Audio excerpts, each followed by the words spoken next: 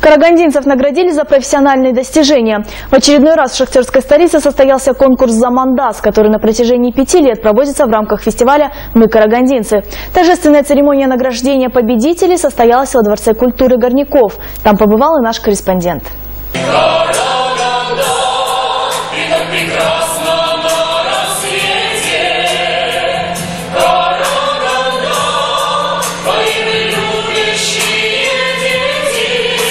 Еще в 2007 году по поручению отдела внутренней политики города силами Ассоциации предпринимателей области был учрежден конкурс среди карагандинцев, которые вносят свой вклад в развитие шахтерской столицы. В нынешнем году Замандас празднует свой юбилей. Конкурсу современников исполнилось пять лет. По этому поводу организаторами были внесены некоторые изменения.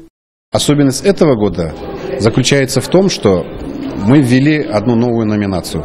Это «Аскери Аброй». А, это люди, э, которые каждый день стоят на страже ворот нашего государства, в частности нашего города. Это военные, это работники правоохранительных органов. Замандав призван сформировать образ успешного человека. В свою очередь отраслей для реализации успешной деятельности немало. Региональный конкурс охватил сферу здравоохранения, спорт, культуру, бизнес и даже военное дело. Еще одну новую номинацию организаторы посвятили юным карагандинцам. Ну, всем известно, что будущее за нашими детьми, за нашей молодежью.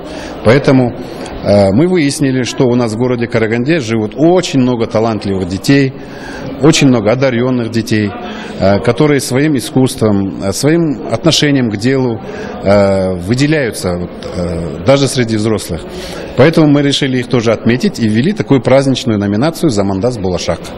Итоги конкурса были объявлены в торжественной обстановке. По словам организаторов, в голосовании за кандидатов приняло участие около 100 тысяч карагандинцев, которые голосовали посредством телефона горячей линии и на сайте конкурса. А увидеть всех лауреатов и победителей конкурса «За мандат» за минувшие пять лет карагандинцы смогут в специальном сборнике, изданном к юбилею. Аида Ибраева, Ужас Габасов, Евгений Афанасьев, первый карагандинский.